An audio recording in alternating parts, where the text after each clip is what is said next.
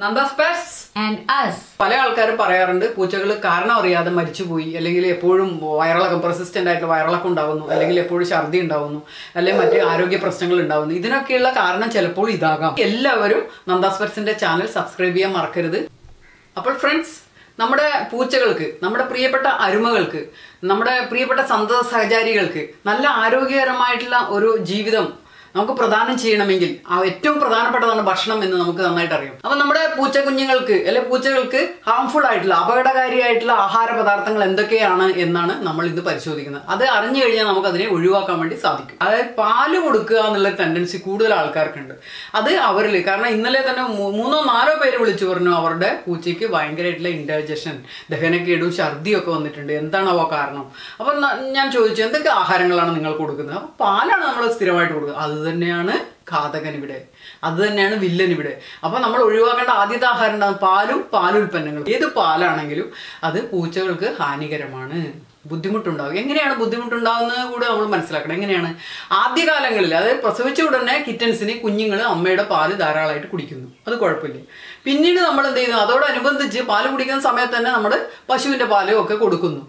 അപ്പോഴും കുഴപ്പമുണ്ടാകുന്നില്ല എന്തുകൊണ്ടാണ്? അപ്പോൾ കുഞ്ഞുങ്ങളുടെ ശരീരത്തിനകത്ത് അല്ലെങ്കിൽ കുഞ്ഞുങ്ങളുടെ ആമാശയത്തിനകത്ത് ഈ പാലിനകത്ത് അടങ്ങിയിരിക്കുന്ന ലാക്ടോസ് എന്ന് പറയുന്ന ആ ഘടകത്തിനെ ദഹിപ്പിക്കാൻ ആവശ്യമായിട്ടുള്ള എൻസൈം പ്രൊഡ്യൂസ് ചെയ്യുന്നുണ്ട്. പക്ഷെ പോകെ പോകെ പിന്നെ പിന്നെ വളരുന്നതനുസരിച്ചിട്ട് അവർ പുതിയ പുതിയ ഫുഡുകൾ അതായത് ഹെവി ഫുഡുകൾ എടുക്കാൻ തുടങ്ങുമ്പോൾ അതായത് ഐ മീൻ കാറ്റ്സിന്റെ ഫുഡായാലും മറ്റ് ഫുഡുകൾ പാലിൽ വ്യത്യസ്തമായ ഫുഡുകൾ എടുക്കുന്നതിനനുസരിച്ച് ഈ ലാക്ടോസിനെ ദഹിപ്പിക്കുന്ന ഈ എൻസൈമിന്റെ അളവ് കുറയുകയും ലാക്ടോസ് ദഹിക്കാൻ പറ്റാത്ത സാഹചര്യം ഉണ്ടാകുകയും ചെയ്യുന്നു.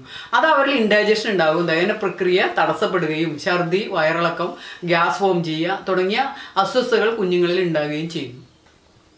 ഓക്കെ അപ്പം നമ്മൾ എന്ത് വേണം? പാലും പാലുൽപ്പന്നങ്ങളും അവരുടെ ഫുഡിൽ നിന്ന് ഒഴിവാക്കുക തന്നെ വേണം.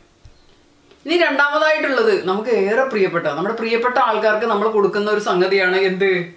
ദേ സ്വീറ്റ്സ് മിഠായികൾ.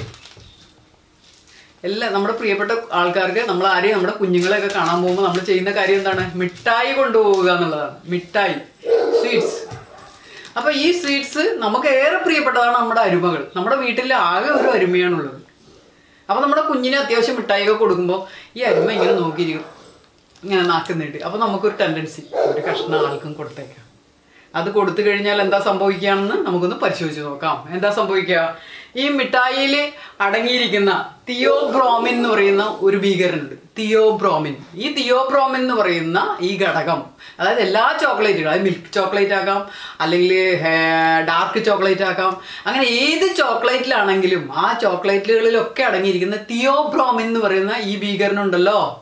അവൻ ഭക്ഷ്യവിഷബാധയ്ക്ക് കാരണമാകും കുഞ്ഞുങ്ങളിൽ അത് നായ്ക്കളിലായാലും പൂച്ചകളിലായാലും. അത് അവർ സ്ലോ പോയിസണിങ് ആണ്. അതായത് സാവകാശം അവരെ കൊല്ലും. ഇന്ന് മിഠായി കൊടുത്തോണ്ട് നാളെ ചത്തു പോകണമെന്നൊന്നുമില്ല ക്രമേണ ചത്തുപോകാം.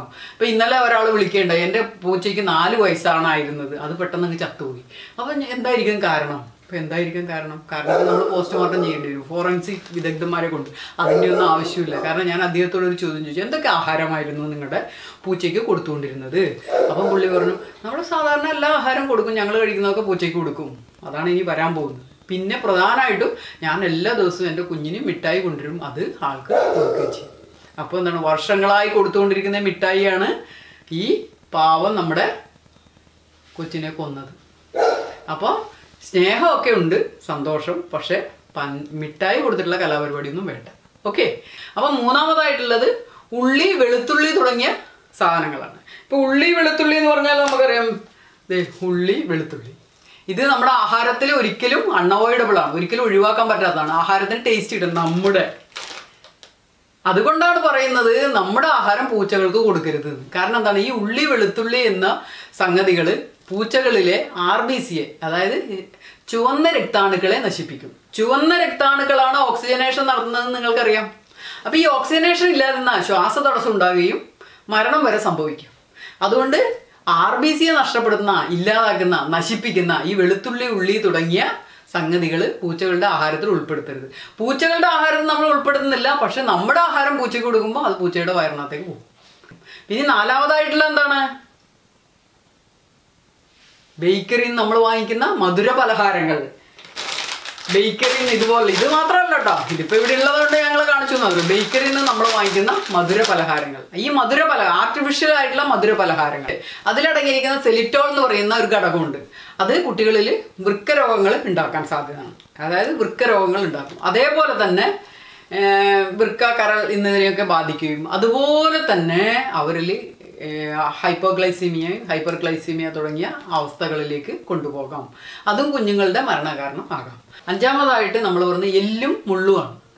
ഇപ്പോൾ പൂച്ചകൾക്ക് ഏറ്റവും ഇഷ്ടം എല്ലും മുള്ളും ആണെന്നൊക്കെ മിക്സ് ഉണ്ട്. പക്ഷെ അത് വെറും മിക്സ് മാത്രമാണ് അപ്പോൾ എല്ലുകളോ മുള്ളുകളോ ഒക്കെ കഴിച്ചു കഴിഞ്ഞ് അത് ഇൻഡസ്ട്രീനിൽ ബ്ലോക്ക് തറച്ച് നിന്ന് ബ്ലോക്കുകളൊക്കെ ഉണ്ടാകാനുള്ള സാധ്യതയുണ്ട്.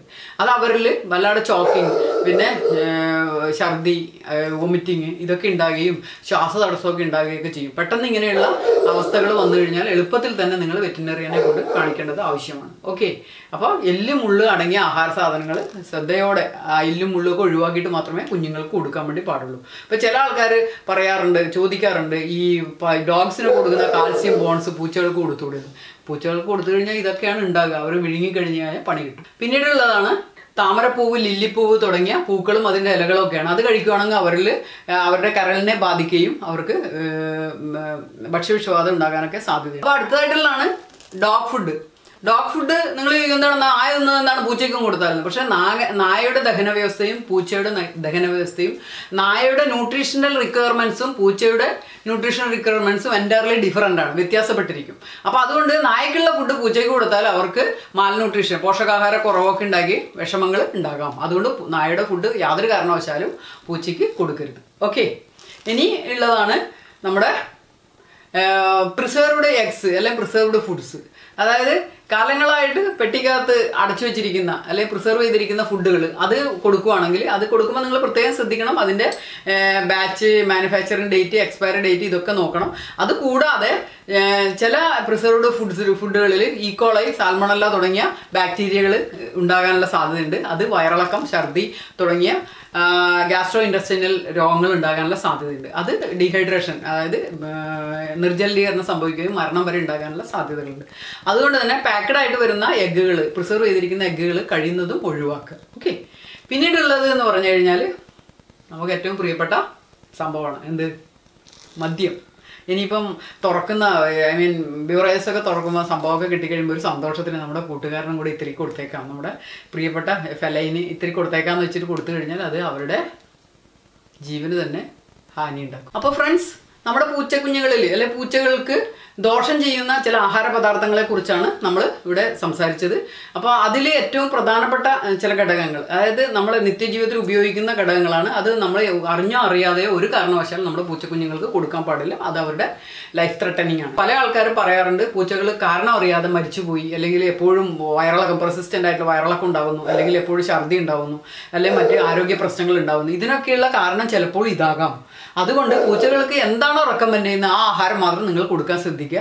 അപ്പോൾ ഒരിക്കൽ കൂടി എല്ലാവരും നന്ദാസ്പെറ്റ്സിന്റെ ചാനൽ സബ്സ്ക്രൈബ് ചെയ്യാൻ മറക്കരുത്. അതുപോലെ കൂടുതൽ ആൾക്കാരിലേക്ക് നിങ്ങൾ റെഫർ ചെയ്യണം. എല്ലാവർക്കും സ്നേഹത്തോടു കൂടിയ ആരോഗ്യകരമായിട്ടുള്ള പെറ്റ് പാരന്റിങ് ആശംസിക്കുന്നു. ഒരിക്കൽ കൂടി എല്ലാവർക്കും സന്തോഷകരമായ പെറ്റ് പാരന്റിങ് ആരോഗ്യകരമായ ദിനങ്ങൾ മാത്രം ആശംസിക്കുന്നു. സന്തോഷം സന്തോഷം happiness always Nanda's pets and us.